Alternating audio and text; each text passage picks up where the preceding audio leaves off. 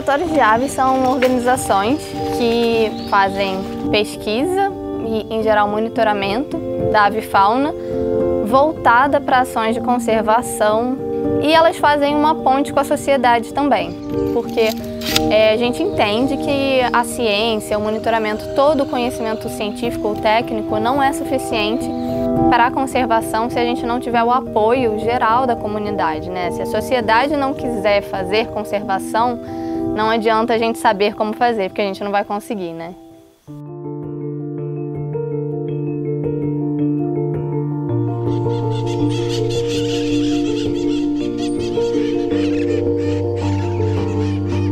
O AMA, Observatório de Aves da Mantiqueira, ele surgiu através de uma experiência que seus fundadores, um grupo do qual estou envolvida, é, tivemos uma experiência com observatórios de aves fora do Brasil. Fora do Brasil, os observatórios de aves são muito comuns. Nos Estados Unidos tem centenas de observatórios de aves. Na Europa, onde é o berço dos observatórios de aves, né? organizações que existem há mais de 100 anos. Eu não parava de pensar o quão importante era trazer esse tipo de organização para um país em que quase não tem esse tipo de iniciativa, né? E aí dessa experiência, essa vontade de trazer esse modelo de fazer conservação, pesquisa aqui para o Brasil, eu e outros cofundadores, a gente resolveu tentar começar esse modelo de observatório de aves para fazer pesquisa, monitoramento, treinamento e comunicação com a sociedade, todos relacionados à avifauna.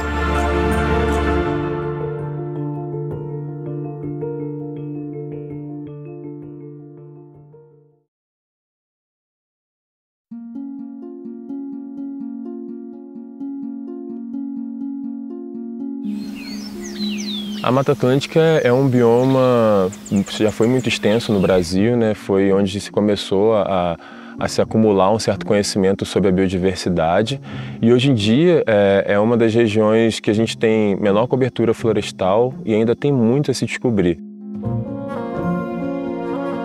O Observatório de Aves, então, ele vem como uma organização né, que preza, que busca é, preencher esse, esse, vazio, né? E aí a gente tem regiões da, da, da, Mata Atlântica, por exemplo, como a Mantiqueira, né? Que é uma região bem, bem extensa, né? Bem grande, assim, é, dessas que sobraram, né? E onde, por exemplo, foi o início da conservação né, no Brasil, com o Parque Nacional Tatiaia, e a gente tem um vazio muito grande de amostragem nesse lugar, por exemplo, em relação às aves.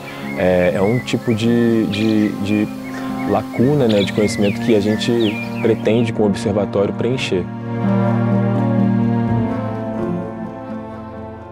A pergunta central do nosso trabalho de monitoramento do Observatório de Aves, assim, né, o porquê que esse Observatório de Aves existe, é entender e acompanhar a variação na comunidade da avifauna ao longo do tempo e do espaço. E o que, que a gente quer responder com isso? A gente quer entender quando existe algum fenômeno, né, alguma ação humana ou alguma, alguma consequência das mudanças climáticas, um evento inesperado, qual que é o impacto disso na na natureza. E a gente usa as aves pra, como esse termômetro. As aves são um dos principais grupos assim, de vertebrados e talvez o mais bem conhecido. Né? É, muito pelo fato de elas serem fáceis de serem observadas, né? serem bonitas, brilhantes, mas é, também porque é, são os animais que estão quase todos os ambientes. Né? As aves são ótimos bioindicadores. É, e o, as metodologias de estudo das aves, né, atualmente, elas são bem consolidadas. Né? Então, elas acabam sendo um ótimo grupo de estudo quando você quer avaliar essas mudanças no ambiente e entender um grupo ao longo de, um, de uma grande, de um, uma série de tempo maior. Né?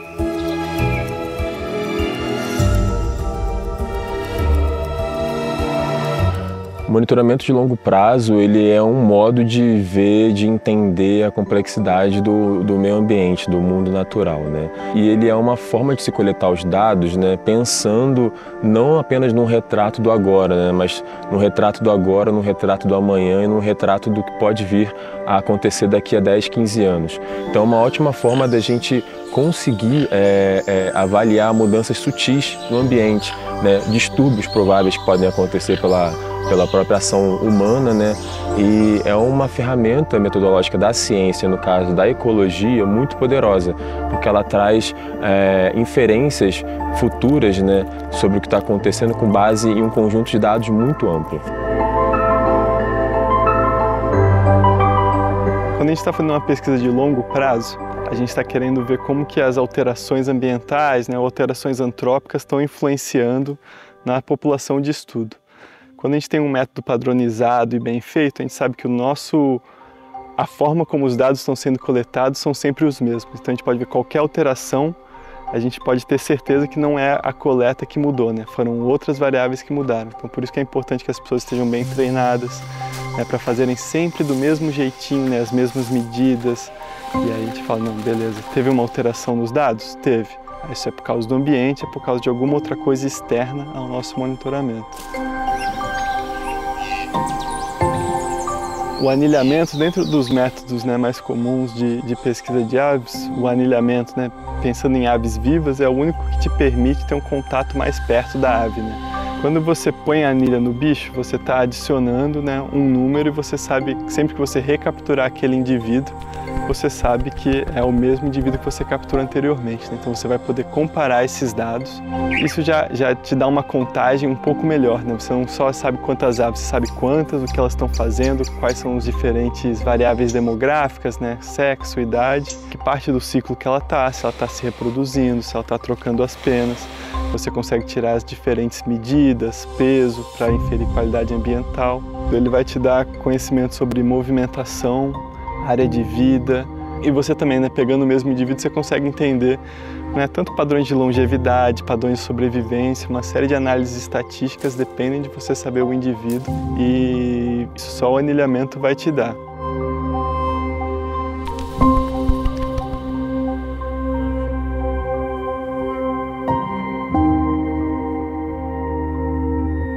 O Sistema Nacional de Anilhamento é um setor do SEMAV que coordena todo o processo de distribuição de anilhas e de organização dos dados né, que são gerados a partir daí.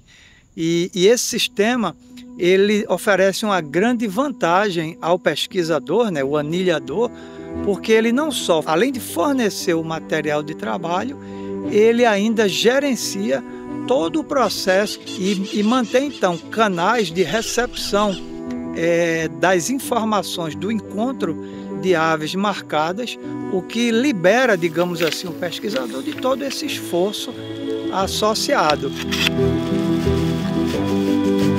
O SEMAV já ultrapassou a marca de um milhão de aves marcadas. Diante de um volume de dados tão grande, é fundamental a colaboração dos anilhadores, né, dos pesquisadores. Ao final de cada ano de, de pesquisa, é fundamental que elas, elas informem através dos relatórios o que foi feito com essas anilhas. Os dados da, originais né, do anilhamento, eles vão ser encaminhados ao recuperador. Com isso nós fechamos o ciclo e todos saem ganhando, né?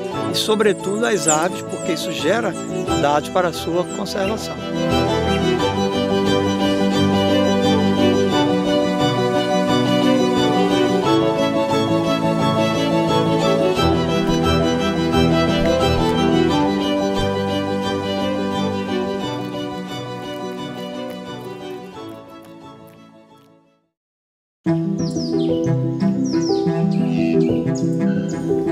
O AMA ele tem uma função, né, um dos objetivos centrais, além do monitoramento, é usar esse monitoramento como um laboratório de campo para que novos ornitólogos possam aprender na prática. É um treinamento que visa formar é, jovens ornitólogos que sejam questionadores que entendam o porquê que eles estão fazendo e questionem. Quando eles não entenderem, que eles questionem o porquê que eles estão fazendo aquele trabalho, como eles estão fazendo, que estejam sempre almejando a perfeição. O monitoramento de longo prazo, ele serve como um termômetro do, da biodiversidade, do meio ambiente, né? da saúde do meio ambiente. Então, é que nem aquela história dos canarinhos, não sei se você conhece essa história dos canarinhos, em que os trabalhadores de minas de carvão, se eu não me engano, né, que desciam para a terra e sempre levavam um canarinho, porque quando o canarinho não estava bem, é porque a situação eles precisavam sair. Então, o canarinho era o termômetro da qualidade daquele ambiente para os trabalhadores. E a gente, isso é só um pequeno pontinho do exemplo de, do que a gente faz. As aves, para a gente, as aves na natureza, são um termômetro de, desse meio ambiente, dessa natureza que, na qual elas estão inseridas. Se elas não estão indo bem, se as populações de aves estão declinando, é porque alguma coisa está errada e a gente precisa entender o que, que é. Né?